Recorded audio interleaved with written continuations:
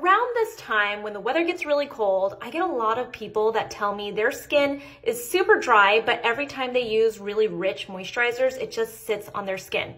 I'm gonna tell you what the problem could be. It's either one of two things or maybe even both. One, it means that you probably need hydration for your skin. And a lot of people don't realize there's a difference. I like to think of hydration as water. It's like drinking water. You need to rehydrate your skin. So you're gonna use products that are really hydrating. I personally love an Essence. This one is from Dr. Ceuracle. I've talked about it for years. I love how it just absorbs into my skin immediately because it is so super hydrating and super light. Look at that.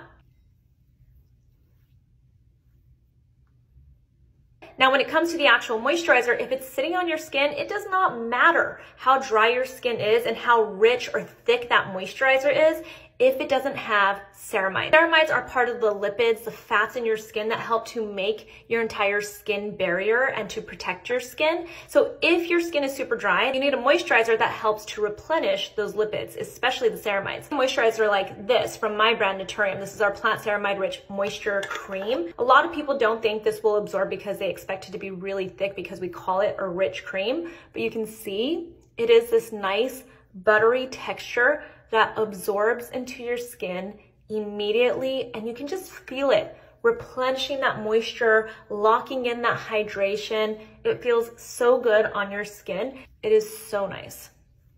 Now, there are moisturizers that are meant to sit more on top of your skin. They're meant to create more of an occlusive barrier, and that's to lock everything in and protect your skin. We have a couple of moisturizers that are meant to do this. One is our Intense Overnight Sleeping Cream. I love it, especially during the winter time. I put on my moisturizer, I put that on top of it, and it feels like I'm wearing a sleeping mask, and that's more of the point of it. Another one that's meant to sit more on top of your skin and just absorb slowly through the night. You might even wake up with a little bit of a layer still on your skin that's on purpose, and that is our Marshmallow Root Barrier Balm. And the name kind of says it all. It's a barrier balm. You can see this texture. It is meant to sit on top of your skin to provide that occlusive layer and really protect your skin and work a little bit slowly. So it's not always a bad thing when a moisturizer sits on top of your skin. You just have to know what it is that you're trying to achieve with that moisturizer. So I'm gonna put this on, and then I'm gonna go blow dry my hair and relax.